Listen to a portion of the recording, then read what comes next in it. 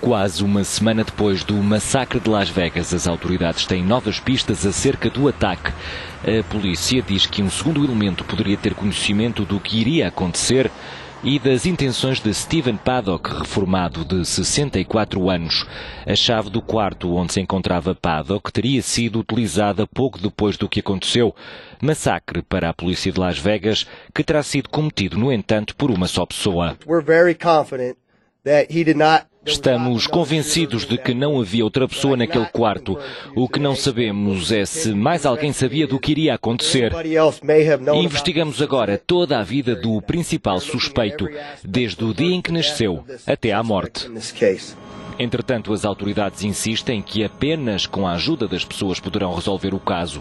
Até agora, o massacre de Las Vegas, que deixou 59 mortos e centenas de feridos durante o concerto de música country, continua a ser um mistério. Os familiares e os amigos das vítimas ocupam-se agora do luto e os Estados Unidos enfrentam, mais uma vez, a questão do porte de armas no país.